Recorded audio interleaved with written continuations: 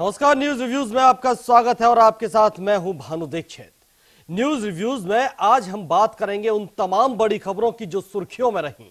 सबसे पहले आपको दिखाएँगे कि हरियाणा के हिसार के बरवाला सतलोक आश्रम संचालक रामपाल को चार साल बाद हत्या के केस में हिसार की विशेष अदालत ने दोषी करार दे दिया है। वहीं दूसरी खबर, राफेल सौदे को लेकर राहुल गांधी ने पीएम मोदी पर जमकर निशाना साधा और पीएम मोदी को देश का भ्रष्ट प्रधानमंत्री तक करार दे डाला।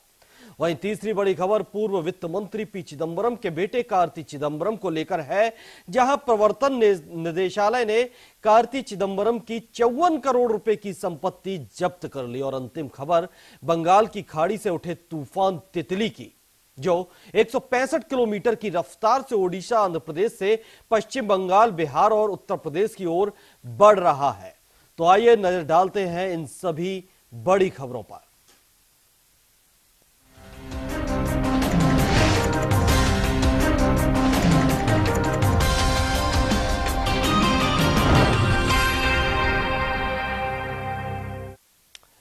हरियाणा में बरवाला स्थित रामपाल के सतलोक आश्रम में हुई छह मौतों के मामले में गुरुवार को अदालत ने फैसला सुनाया। कुल दो मामले थे और दोनों में अदालत ने कथित संत रामपाल को दोषी करार दे दिया है। एक रिपोर्ट देखिए। हरियाणा के हिसार के बरवाला सतलोक आश्रम संचालक रामपाल पर चार साल बाद हत्या के केस में हिसार की विशेष अदालत ने फैसला सुना दिया है। कोर्ट ने हत्या के दो मामले में रामपाल को दोषी करार दिया है। अदालत में सजा का ऐलान 16 या 17 अक्टूबर को होगा। अदालत ने दोनों मामलों में रामपाल सहित 29 लोगों को दोषी ठहराया है। वहीं दोषी करार दिए गए आरोपियों में तीन महिलाएँ हैं। आपको बता दें कि सेंट्रल जेल एक में बनाई गई विशेष अदालत में जज डी आर चालिया ने मामले पर फैसला सुनाया। इससे पहले रामपाल को छोड़कर बाकी सभी आरोपियों को कोर्ट में पेश किया गया था। इसके बाद रामपाल को अदालत में पेश किया गया। वहीं जेल परिसर के बाहर भारी पुलिस बल और आरएएफ के जवानों को तैनात किया गया था। अदालत ने रामपाल और अन्य आरोपियों को आईपीसी की धाराओं 302, 343 और 120 बी के तहत दोषी ठहराया है। अदालत में एफआईआर नंबर चार सौ उनतीस के मामले में रामपाल सहित 15 आरोपियों को दोषी करार दिया गया है। कोर्ट ने एफआईआर नंबर 430 में 14 आरोपियों को दोषी करार दिया है। इसके साथ ही अदालत में सजा का ऐलान 16 या 17 अक्टूबर को किया जाएगा। वहीं सरकारी अधिवक्ता राजीव सरदाना ने कहा कि इसमें एफ़ नंबर चार सौ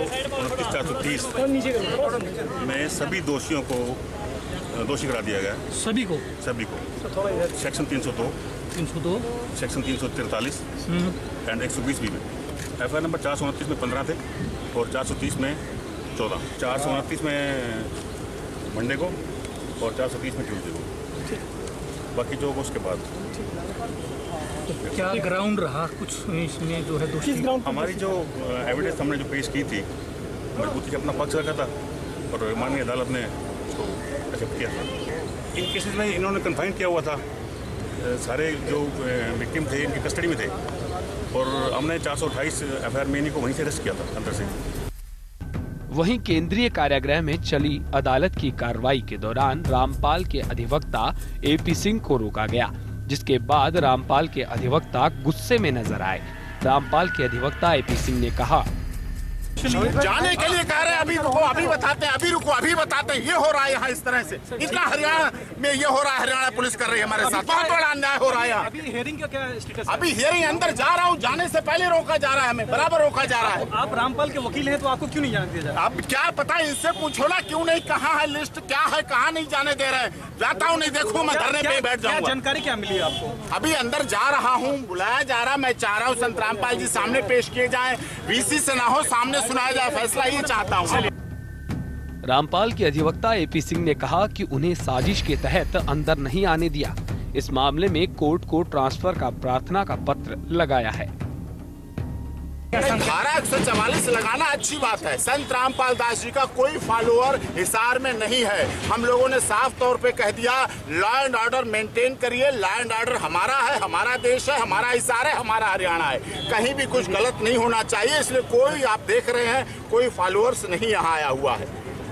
ये लॉ एंड ऑर्डर मेंटेन करना हमारी सबकी ज़िम्मेदारी है। देश हमारा सबका है। केवल हरियाणा सरकार या हरियाणा पुलिस का ही नहीं इस देश को हम सबने सींचा सबको सबने इसको बढ़ाया। लगातार दस बार रोक ली गई गाड़ी। मतलब काला कोट पहनना गुना हो गया। अगर मैं शायद सिविल ड्रेस में होता तो इतना नहीं होता। कि नहीं लोग बात कर रहे हैं कि तो एपी सिंह है। ये तो एडवोकेट है आप किस किस को रिप्रेजेंट कर रहे हैं रामपाल या और किस रामपाल जी को कर रहा हूँ। और सभी है उसमें तो सारे फॉलोअर्स है उनके कोई बाहरी व्यक्ति नहीं है नाम नहीं है दिखा ये क्या साजिश रची जा रही है? लिस्ट में नाम वहीं से शुरू हो गया बॉर्डर से ही।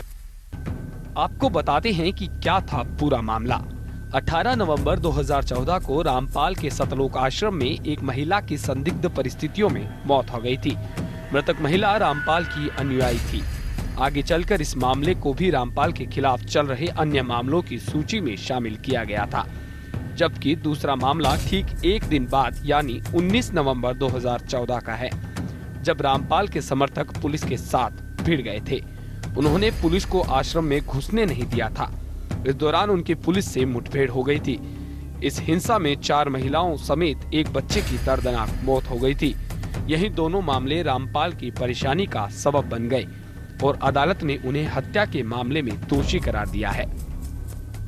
वहीं सुनवाई के दौरान हरियाणा के हिसार शहर को किले में तब्दील कर दिया गया था। किसी भी संभावित बवाल, हिंसा और तोड़फोड़ जैसी घटनाओं से निपटने के लिए पुलिस ने सुरक्षा के अभूतपूर्व इंतज़ाम किए थे। हिसार ज़िले में धारा 144 लगा दी गई थी। अदालत के चारों ओर तीन किलोमीटर का सुरक्षा घेरा बनाया गया था। बहरहाल संत की आड़ में रामपाल जैसे बाबा आज भी समाज में खुलेआम घूम रहे हैं। जिसे पहचान कर सलाखों के पीछे पहुंचाना ज़रूरी है। वहीं कोर्ट की ओर सजा का ऐलान 16 या 17 अक्टूबर को दे दिया जाएगा। न्यूज़ इंडिया के लिए स्पेशल डेस्क की रिपोर्ट। वहीं राफेल सौदे को लेकर एक बार फिर कांग्रेस अध्यक्ष राहुल गांधी ने प्रधानमंत्री नरेंद्र मोदी और उनकी सरकार को निशाने पर लिया है। कांग्रेस अध्यक्ष राहुल गांधी ने प्रेस कॉन्फ्रेंस कर राफेल डील को भ्रष्टाचार बताया। एक रिपोर्ट देखिए। राफेल विमान सौदे को लेकर सियासी घमासान अब अपने चरम पर पहुँच गया है। कांग्रेस अध्यक्ष राहुल गांधी राफेल सौदे को लेकर सीधे सीधे प्रधानमंत्री नरेंद्र मोदी को निशाने पर ले रहे हैं। राहुल गांधी ने प्रधानमंत्री मोदी पर भ्रष्टाचार के आरोप भी लगाए हैं और कहा कि उनकी भी जाँच होनी चाहिए। हिंदुस्तान के प्रधानमंत्री भ्रष्ट हैं। हिंदुस्तान के प्रधानमंत्री ने अनिल अंबानी को तीस हज़ार करोड़ रुपए दिए हैं। और जब हमने हिंदुस्तान के प्रधानमंत्री से लोकसभा में चर्चा की डिस्कशन किया डिबेट किया, आँख में आँख मिलाई तो प्रधानमंत्री आपकी आँख में आँख नहीं मिला पा रहे थे। ये सच्चाई है। कांग्रेस के पार्टी मुख्यालय में प्रेस कॉन्फ्रेंस के दौरान राहुल ने राफेल डील को पीएम मोदी से लेकर केंद्र को निशाने पर लिया। राहुल ने प्रधानमंत्री मोदी के इस्तीफे की भी मांग की। राहुल ने कहा कि उन्हें इस मामले में अपना नाम आने पर इस्तीफा दे देना चाहिए। हिंदुस्तान की रक्षा मंत्री फ्रांस जा रही है।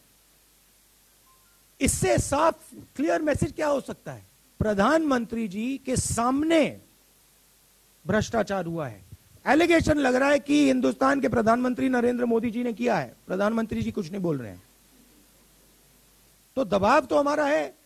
और और इस्तीफा देना चाहिए, इस्तीफा तो देना चाहिए। अगर अगर रिस्पॉन्ड रिस्पॉन्ड नहीं कर पा रहे हैं वहीं राहुल ने कहा कि राफेल डील के ज़रिए पीएम मोदी ने अनिल अंबानी की जेब में तीस हज़ार करोड़ रुपए डाले हैं।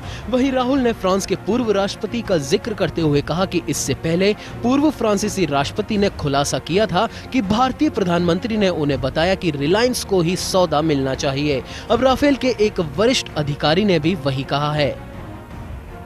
अब पहले फ्रांस के एक्स राष्ट्रपति ने कहा था कि हिंदुस्तान के प्रधानमंत्री ने उनसे कहा था कि अनिल अंबानी जी को राफेल का कॉन्ट्रैक्ट मिलना चाहिए।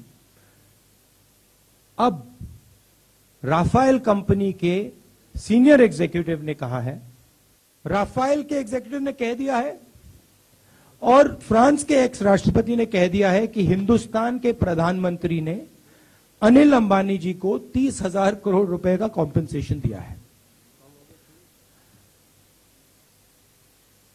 प्रधानमंत्री से लोकसभा में हमने सवाल पूछे। पूरा देश राफेल की बात कर रहा है। प्रधानमंत्री के मुँह से एक शब्द नहीं निकलता है।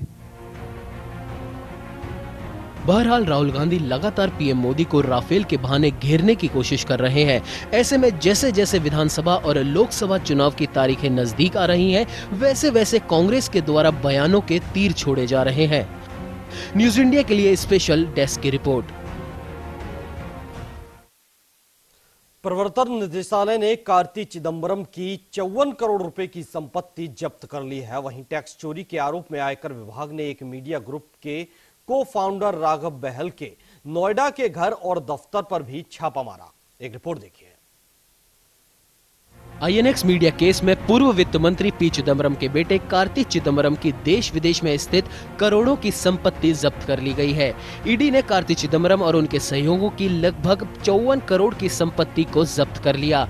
केंद्रीय जाँच एजेंसी ईडी ने आईएनएक्स मीडिया मामले में एक बड़ी कार्रवाई को अंजाम देते हुए पूर्व वित्त मंत्री पी चिदम्बरम के बेटे कार्तिक चिदम्बरम की कई चल अचल संपत्तियों को अटैच कर लिया है। ईडी की ओर से जारी प्रेस रिलीज़ के अनुसार कार्तिक चिदम्बरम की company advantage strategic consulting private limited की कई संपत्तियों को जब्त किया गया है।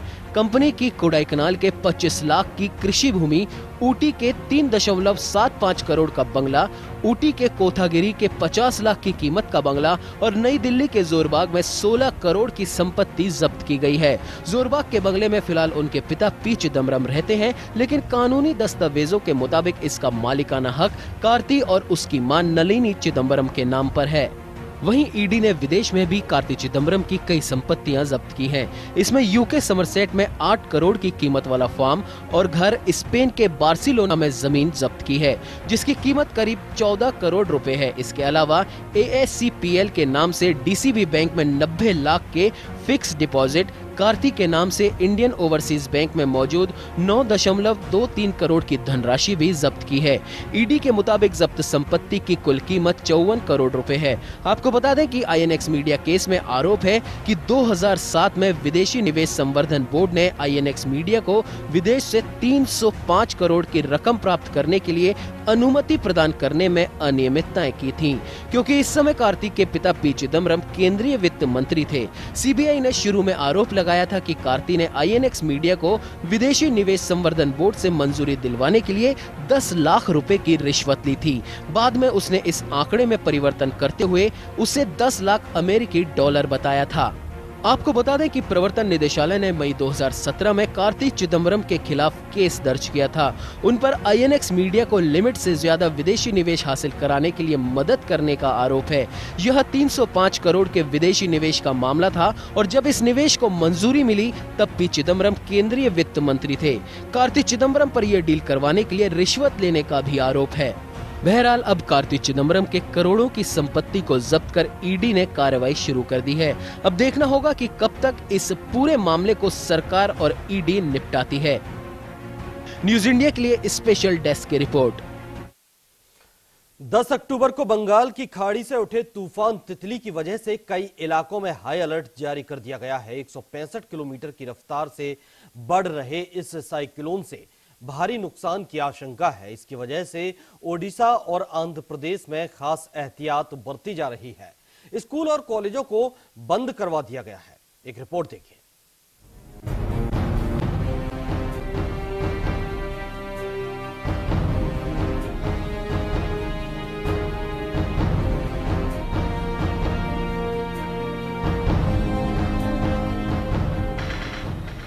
चक्रवाती तूफ़ान तितली ने आंध्र प्रदेश और ओडिशा में तबाही मचा रखी है। अब ये तबाही पश्चिम बंगाल की ओर रुख कर चुकी है। वहीं ओडिशा के गोपालपुर में आए समुद्री तूफ़ान की चपेट में आकर मछुआरों की एक नाव डूब गई, जिसमें पाँच मछुआरे सवार थे जिन्हें बचा लिया गया है। वहीं तूफ़ान से आंध्र प्रदेश के श्रीकाकुलम ज़िले में दो लोगों की मौत हो गई है। हालाँकि अब तक जानकारी के अनुसार इस तूफ़ान में अलग अलग जगहों पर आठ लोगों की मौत हो चुकी है। वहीं ओडिशा के मौसम विभाग ने अगले 12 घंटों तक तूफानी हवाओं की चेतावनी जारी की है। एहतियात के तौर पर ओडिशा से तीन लाख लोगों को तटीय इलाकों से हटाकर सुरक्षित जगहों पर पहुँचा दिया गया है। वैसे तो तितली का लैंडफॉल ओडिशा के गोपालपुर से छियासी किलोमीटर दक्षिण पश्चिम में रहा। तेज हवाओं के कारण कई इलाकों में बिजली के पोल और पेड़ गिरने तक की खबरें हैं। फ़िलहाल राहत और बचाव के लिए एनडीआरएफ की टीमों को तैनात किया गया है। गोपालपुर में तूफानी हवाएँ 140 से 150 किलोमीटर प्रति घंटे की रफ्तार से पहुँच रही हैं। इसकी गति 165 किलोमीटर प्रति घंटे तक होने का अनुमान है। वहीं ओडिशा, आंध्र प्रदेश और बंगाल के कई इलाकों में तितली तूफ़ान को लेकर रेड अलर्ट जारी कर दिया गया है। ओडिशा सरकार ने तूफ़ान के चलते स्कूल कॉलेजों को बंद रखने का फैसला किया है। इसके अलावा तूफ़ान से निपटने की तैयारियों का जायजा लेने के लिए ओडिशा के मुख्यमंत्री नवीन पटनायक ने एक उच्च स्तरीय बैठक भी की। चक्रवाती तूफ़ान तितली उत्तरी आंध्र प्रदेश और दक्षिणी ओडिशा के तटीय इलाकों के बाद अब उत्तर की ओर बढ़ गया है। इस दिशा में पश्चिम बंगाल राज्य है और इन दोनों राज्यों के अलावा बिहार, झारखंड और उत्तर प्रदेश में भी इस तूफ़ान का असर पड़ने की आशंका है। वहीं अधिकारियों ने कहा कि चक्रवाती तूफ़ान की वजह से पश्चिम बंगाल के जिलों में मध्यम दर्जे से लेकर भारी बारिश तक हो सकती है, जबकि तटीय जिलों जैसे पूर्व और पश्चिम मिदनापुर, उत्तर और दक्षिण चौबीस परगना हुगली और हावड़ा में भारी बारिश होने की संभावना है uh, cyclone situation uh, in the secretariat. Uh, cy- cyclone uh, Titli has now been upgraded to a very severe cyclonic storm with uh, wind speeds uh, from 140 to 150 kilometers expected at uh, landfall and gusting speeds of 165 kilometers per hour. Landfall is uh, expected tomorrow at uh, around 5:30 a.m. in uh, South Odisha in Ganjam district, uh, near, around Gopalpur um, of Ganjam district. Collectors of all coastal of five coastal districts, that is uh, Ganjam, Khurda, Puri, um, uh, Jagat Singhpur and Kendrapada, have been uh, directed to start evacuation of uh, people living in low-lying areas as storm surges of around one meter are expected as a result of this uh, cyclonic storm. Uh, Honorable CM has given a clear direction that saving lives is our priority and we must make it a zero casualty mission. Uh, adequate relief provisions have also been made for the affected people and whenever anybody is evacuated to a school or a cyclone shelter, relief uh, you know, in the form of uh, food and other materials would be provided to the people there. बहरहाल अब धीरे धीरे तितली तूफ़ान कई और राज्यों में पहुँचना शुरू हो गया है जिसके बाद सरकार की ओर से अलर्ट जारी कर दिया जाएगा। वहीं मौसम विभाग ने अनुमान लगाया है कि जल्द ही तितली तूफ़ान का असर खत्म हो जाएगा। न्यूज़ इंडिया के लिए स्पेशल डेस्क की रिपोर्ट।